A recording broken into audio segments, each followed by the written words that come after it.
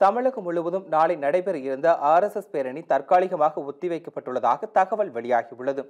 RSS அணிவகுப்பு ஊர்வலத்திற்கு அனுமதி வழங்க மறுத்த காவல்துறை உத்தரவுகளை எதிர்த்து ஆர்எஸ்எஸ் அமைப்பினர் தொடர்ந்து ஐம்பதற்கும் மேற்பட்ட வழக்குகளை விசாரித்த நீதிமன்றம் நவம்பர் ஆறாம் தேதியன்று ஊர்வலத்திற்கு அனுமதி வழங்கும்படி காவல்துறைக்கு உத்தரவிட்டிருந்தது.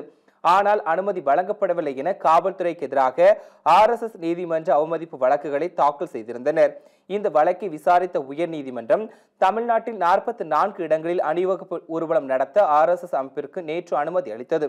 ஆனால் சுற்றுச்சுவர் அமைந்திருக்கும் மைதானத்தில் மட்டும் ஆர்எஸ்எஸ் பேரணி நடத்த வேண்டும் என நிபந்தனை விதித்தது.